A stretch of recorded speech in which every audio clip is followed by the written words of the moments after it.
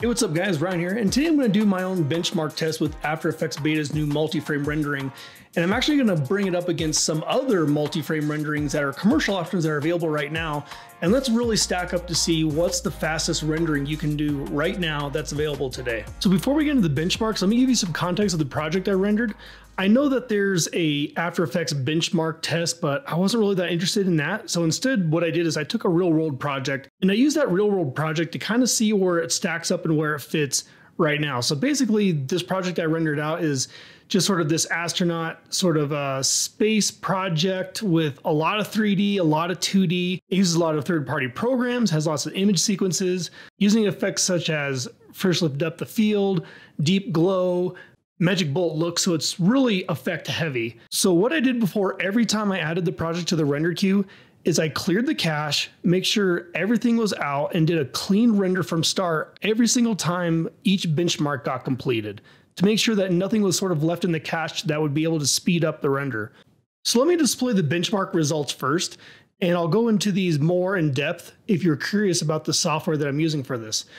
I rendered the bench base mark after After Effects 2020 with a time of 47 minutes and 7 seconds. Also in After Effects 2020, I used a program called Render Garden, which knocked that same render time all the way down to 14 minutes and 22 seconds with another program called Render Boss coming in at 26 minutes. So even right there, we're talking a significant jump with these third-party programs versus the built-in native After Effects 2020 renderer. When we move over to the After Effects beta testing, the results are a little interesting and a little confusing. The first test I did, I got a time of 52 minutes and 40 seconds. And I actually went back into the settings to make sure that my multi-frame checkbox was on, and it was. So I was still surprised that this even took longer than the standard render of After Effects 2020. And again, I completely recognize that this is a beta and things may change and sort of get updated as come out, but that was definitely a surprise to me. So I went ahead and I turned multi-frame rendering off and I got a benchmark result of 53 minutes and 31 seconds for the same project that Render Garden was able to knock out in 14 minutes and 22 seconds. So Render Garden, which got the best results, is a third-party program. It's 99 bucks, and this has actually become kind of the go-to renderer for myself and my team here at Chomp. And this is kind of what we've been using from here on out. It gets really great results and really cuts down the render times. After I add to the render queue, I go ahead and say plant seeds. And then Render Garden is going to pop up a little dialog box asking me how many seeds should be created for this item. And basically, seeds is the amount of threads that's going to be used from your processor. So this may vary between machines and what your processor is. Right now, I currently have the 24 core, 48 thread AMD Threadripper with 64 gigs of RAM. And kind of a sweet spot I've found for amount of processors being used versus how much RAM gets used by each processor is I usually like to go with eight seeds. So after I add the eight seeds, I'm gonna go ahead and click OK. And what you saw there was a bunch of dialog boxes that popped up. And let me go ahead and bring some of these to the front, but what it's doing is it's breaking it up into individual movie segments. So each thread is making its own segment to render out a movie, and then at the end, it's going to take all those segments and render out one cohesive movie. So you see down here in the dock, we have a bunch of command windows that are opening up, and each one of them are opening an instance of After Effects. Each one of these are going to take up a different part of the sequence, which is about you know a little bit over a minute long, and it's going to start breaking up the whole entire After Effects movie into little segments, and each one of these processors are going to take its own frame range from that one sequence. So you can see some of them start at 23 seconds, another one start at 28 seconds, start at 33 seconds. And if I open up the seed bank where it's putting all these seeds, you'll see a little folder called segments. And inside of here, you'll see how it's breaking up each of them into little segments. But as you can see, it's putting everything together and the seeds will keep cranking out those segments until the whole sequence gets worked on and it'll bring them all together at once. Cool, and when it's done, you'll see a little dialog box popped up saying Render Garden completed the project in 14 minutes and 22 seconds.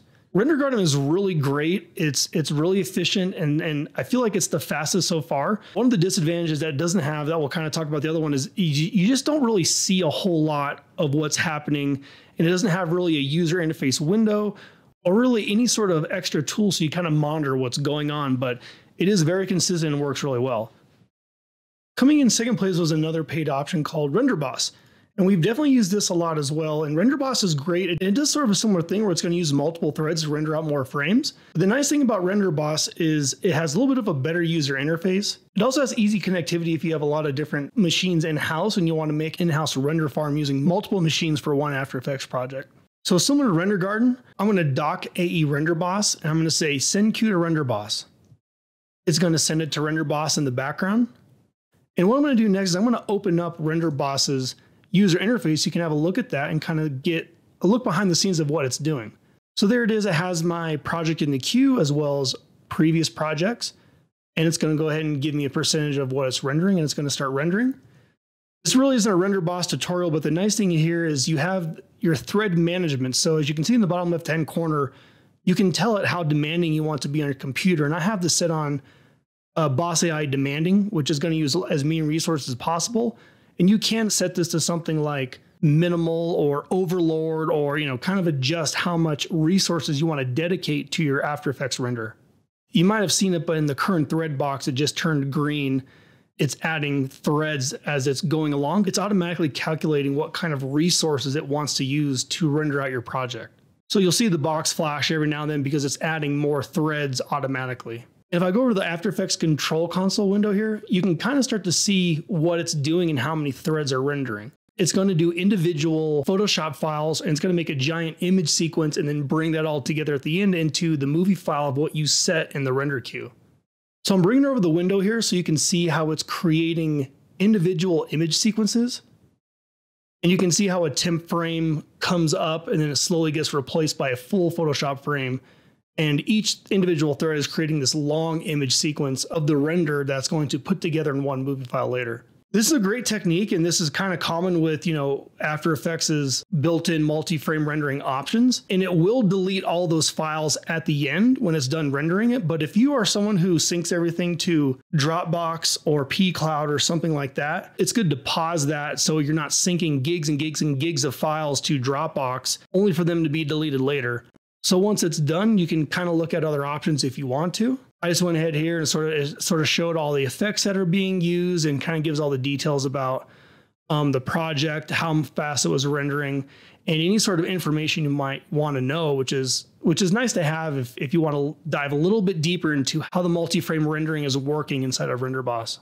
Final duration for that was 26 minutes and 44 seconds, which is still hands down faster than the standard render in After Effects or the After Effects beta multi-frame rendering right now.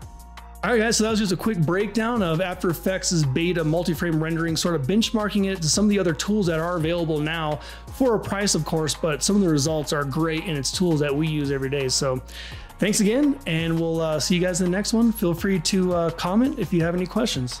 Talk to you then.